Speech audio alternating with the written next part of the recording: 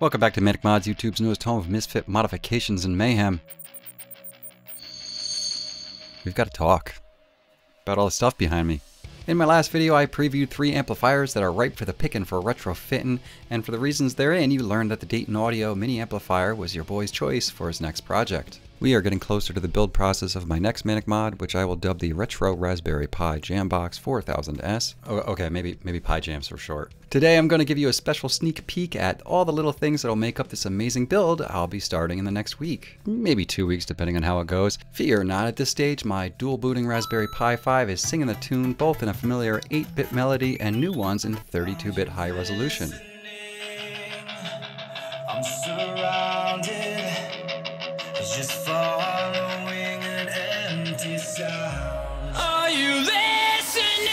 Couldn't retrofit a retro TV without a screen. I've chose this 5-inch screen made by iPistBit.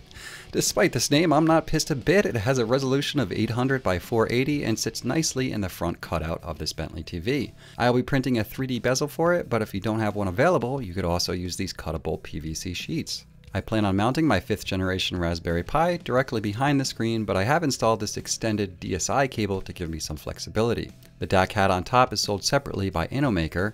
It has an RCA and 3.5mm output and works flawlessly in both Pi OS and Moode. The Pi and DAC will mount to the screen on its OEM mounting posts here, oh, or here. Oh, where are those mounting posts? There we go. I've referenced dual operating systems twice now. I'm not doing this with PINN, but two different boot devices. The more demanding Raspberry Pi OS lives on a Samsung SSD connected to this Geekworm NVMe hat. It came with a short PCIe cable, and this white one was purchased to extend if needed. The lightweight and almighty high-res Music OS Moode booted in the same time on a SanDisk micro SD card. I'll be extending this to the exterior of my Retro TV boombox with this extender made by UCTRONICS. When this SD card is installed, the TV will be an HD music streamer, and if removed, it defaults to the NVMe for more robust media capabilities. One thing I like about this extender is that even with the SD removed, it's nicely held by friction. And my last storage medium is this 1TB SSD stick made by SK Hynix.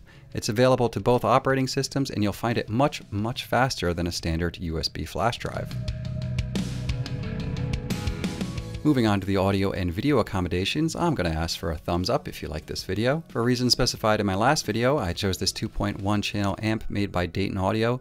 There are easier amps to retrofit like the Django I've previously demonstrated, but I think that extending the front panel potentiometers will be worth it and the LED status board is already broken out. And just look at that backside, I, I mean damn.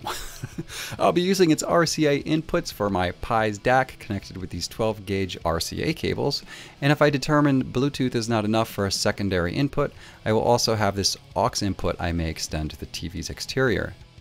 This cable as well as my potentiometer extensions will use cloth EMI shielding to minimize unwanted noise. Next up are the speakers I chose for this integration. These Tang Band speakers slap so hard they'll put me to work ensuring my TV doesn't twerk right off the table. As such, these will be installed during night one of my build. The subwoofer will be installed face down over a large cutout of the base of the TV. For now, I will show you fitment face up as to not damage the driver or passive radiator. Grommet should help stabilize the subwoofer and I'm left the perfect amount of room for the mid-range speakers which will fire outwards on the sides. And after a lot of hunting, I found the perfect speaker grills for them. They match the color of the TV and whole alignment of the speakers perfectly. As mentioned, you can find all the parts in the description of this video. Last up on the audio front, I plan to extend the amplifier's output to the rear with banana jacks. From left to right are plugs for my office speakers, binding banana posts, and smaller banana jacks. To switch off the internals, I will have a push button switch for each the subwoofer and two mid-ranges. This will not only allow me to disable internals for external speaker use, but also perform troubleshooting as needed. Another useful troubleshooting feature is an external display. To extend the video on the Pi 5, I picked up this micro HDMI to HDMI cable that has both a convenient right angle and a flat cable. It'll connect the Pi to an externally accessible HDMI port using this coupler made by Try in Vain. Challenge accepted. Finally, we are looking at the power and peripherals that'll amp up this Manic mod.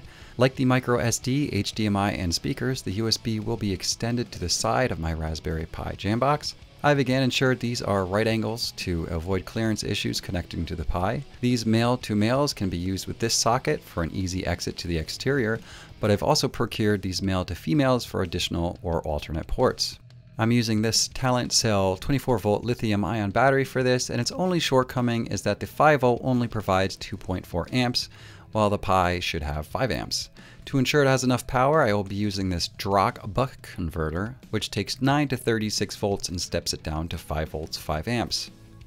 The right side here is for power input from the battery, and the left side is for output to the Pi. Given the wide input voltage of the buck converter, I can choose to either use the 12 or 24 volt power output of the Talentcell battery. However, I will choose to use the 24 volt 5 amps solely for the Dayton Audio, and I will use the 12 volt output almost solely for the buck converter. This battery will mount to the rear of the TV for safety and maintenance reasons, but I may also have a new battery cover 3D printed to improve the aesthetics of the final build. In the meantime, I plan to use the rear for the battery's wiring and possibly these mini Bluetooth gamepads for retro gaming and other control.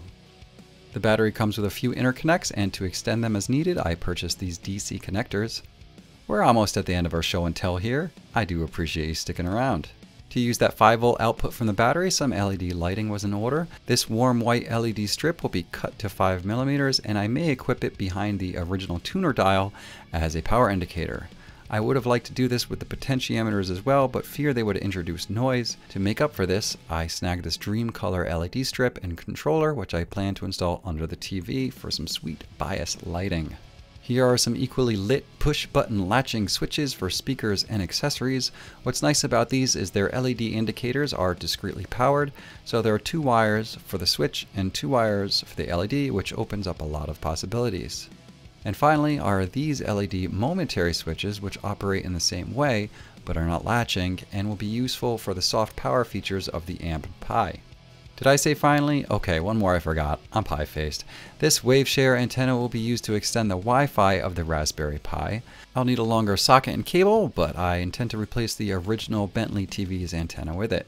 That's going to do it, fam. I appreciate you sticking around. I hope this video was useful to build your own projects.